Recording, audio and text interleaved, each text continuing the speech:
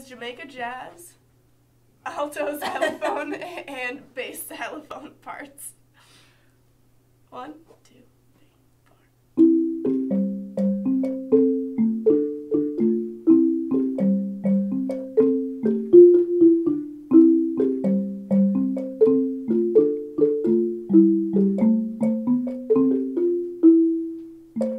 thank you